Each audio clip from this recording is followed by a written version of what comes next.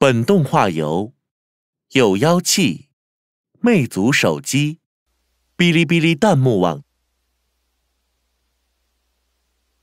异次元战记提供。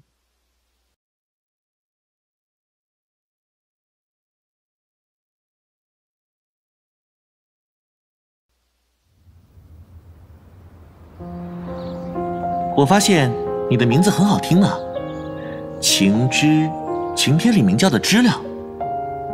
你的也不错啊，夏池，夏天里轻快的奔跑。我们两个都是夏天主题啊。是啊，所以我们两个才能这么有缘。嗯，我说晴之啊，这周末我们去约会吧。啊？怎么了？你怎么不说话了？如果你有事的话，我们改天也可以的。啊！别碰我！啊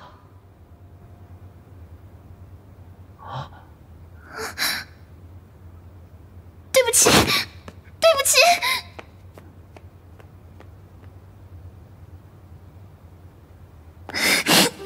我为什么要打他的手？他是我的男朋友啊！虽然心里知道，可身体却不由自主。虽然夏池没有说过埋怨的话，可他越是这样，我越觉得不安。我好害怕，再这样下去，终有一天我会失去他。这个世界上唯一一个让我觉得可以依靠的男人。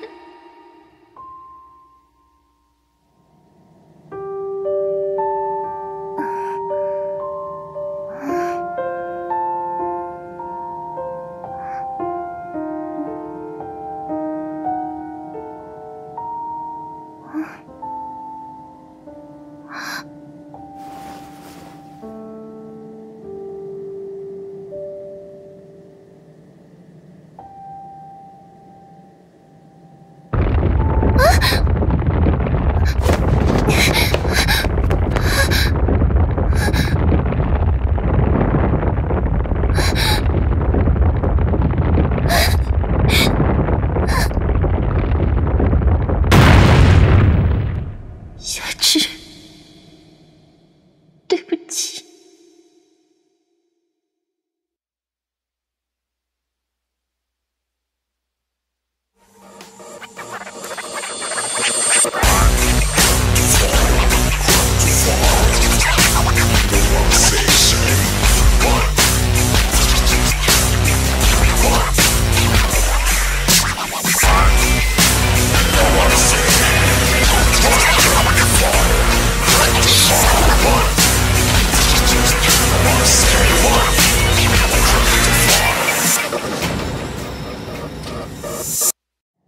武浩，你凭什么这么说？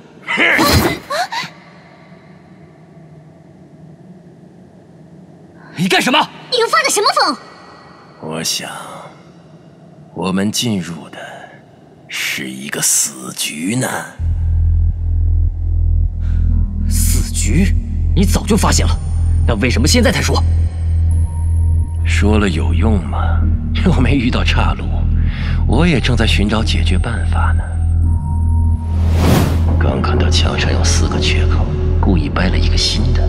皇城经过这里五遍了，这回我要看看你们怎么玩。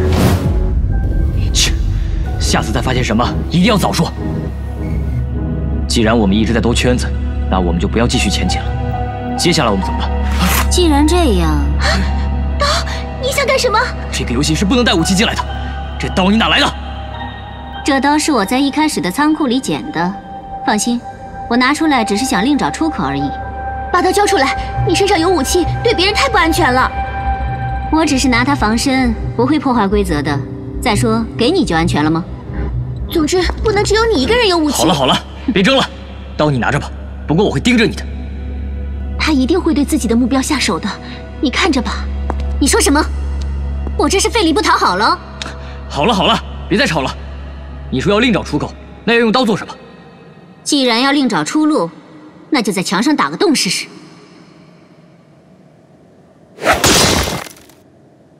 哼，和我想的一样，用手就能掰碎的墙，果然没那么坚固。了不起的观察力。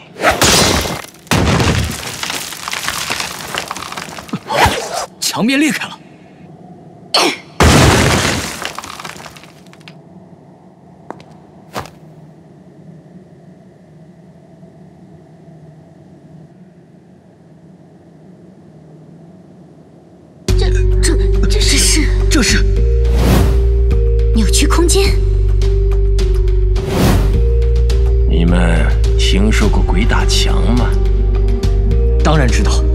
鬼打墙就是将人在漆黑一片的荒野里，怎么也走不出去，总是回到同一个地方。说的没错，其实鬼打墙的原理很简单，在眼睛失去参照物的情况下，大脑无法修正我们走的路线，导致走起来会往一边偏，走成了弧线。距离长了，当然会回到原点。我们现在的情况正好相反，参照物迷惑了我们。如果没有参照物的话，说不定会变得很简单。你是说闭上眼睛规避参照物规避参照物？你们觉得怎么样？这个方法不可行，我们还是再走走看吧。是啊，先继续走走看吧。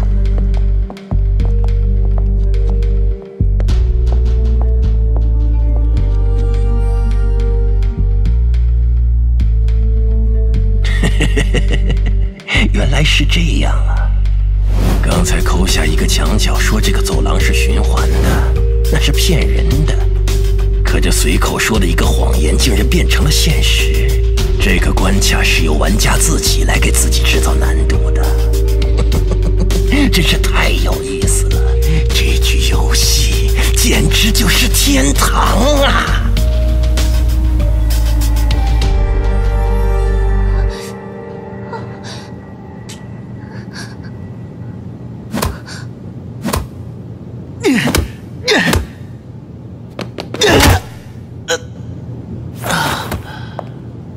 全没力气了，根本打不开啊！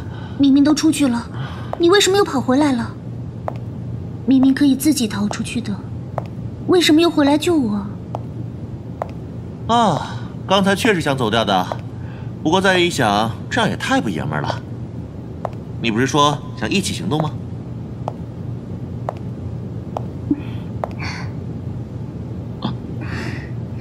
你这样也太帅了吧！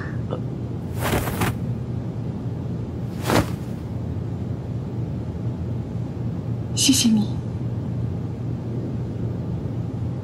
喂喂，你这是小心我非礼你啊！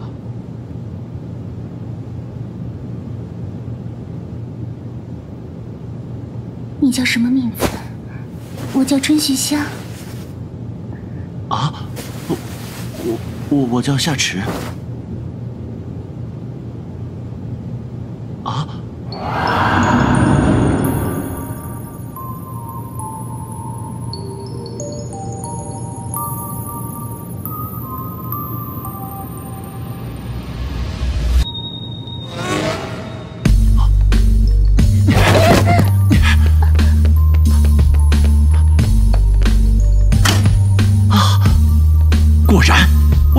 来看，这里有镜。你这个混蛋，白眼狼，人渣！你怎么能对一个女孩子做这种事呢？我做什么了？啊？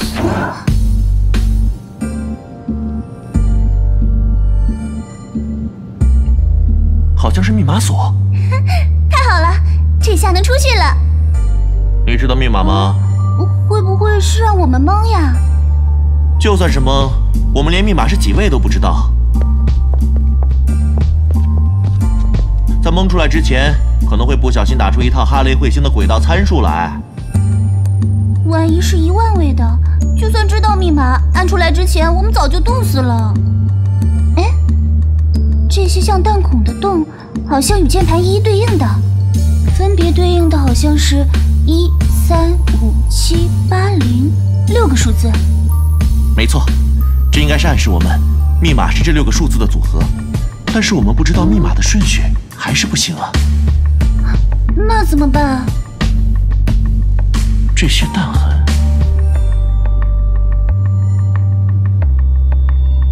啊，原来是这样。我知道密码的顺序了，密码就是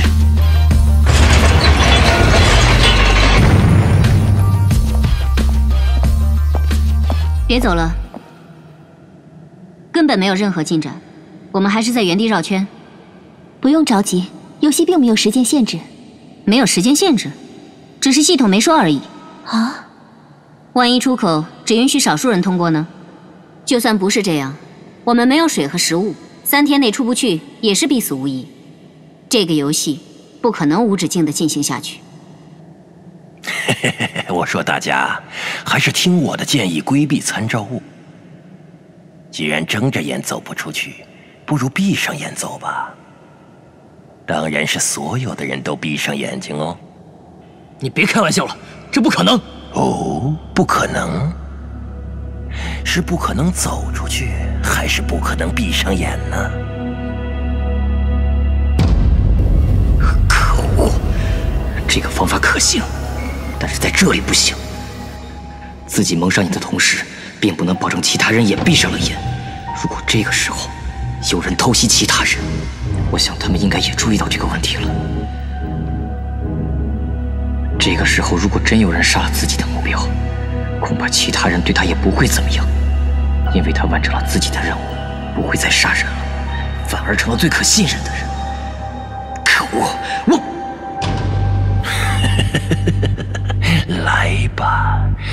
们会怎么选择呢？团队分裂已经是早晚的事了，现在只差一个导火索了。啊！出来了，外面可真暖和，我们运气真好，瞎蒙也能把冷库的门打开。别傻了，怎么可能是瞎蒙的？你知道玻璃的特性吗？屏幕上的洞出现的时间是不一样的，新裂纹会在旧裂纹处终止。根据这些洞的出现顺序，就能推导出密码顺序：五七零八三一。我还以为是运气好，原来是你比较厉害。也有运气的成分了。如果不是你踩出来的那个洞，哎，你不觉得奇怪吗？什么奇怪？明明系统可以把我们困死。为什么又突然放过我们？可能是我们表现很优秀吧。我们什么都没干啊，表现还很优秀。这个系统总会莫名其妙的做评价。以前我遇到过一局结束后有个失败的人，反而评价最高。这么说，这个评价系统和输赢无关喽？我倒觉得运气很重要的。运气？一定不是运气。有积分系统，还要有评价系统。如果知道评价规则，没准就能摸清这个游戏存在的意义。啊，在这个游戏里，死亡会怎么样？你还不知道吧？这个游戏中是不会死人的。游戏中的死亡只是一种出局而已，真正危险的是分数。不管你游戏输赢，只要最后分数余额为正，哪怕是零也是安全的。但如果分数成了负数，就会被永远的踢出游戏。踢出游戏？看上去踢出游戏没什么，大不了不玩。但是，现在已知被踢出的玩家，在现实中没有一个能活过一周的。被踢出，就等于真正的死亡了。这就是记录莫名其妙被杀的原因，因为他的分数为负了。本关失败会被扣八分，我只有六点五分。那游戏里的死亡并不会影响现实，是吗？这规则看似和谐，却也让现实里绝不会杀人的人，在游戏里毫不犹豫的下手。一点矛盾就能引来杀身之祸。一点矛盾就能引来杀身之祸。没错，别对敌人手下留情，这是我为了感谢你才告诉你的。我觉得我似乎应该能完成我的可选任务。哼，你想去杀目标吗？可是现在都不知道他在哪儿啊！我不需要去找他，我要隔空杀了他。当飞蛾挣扎，是否怨恨火焰？当信念剧烈，是否完成了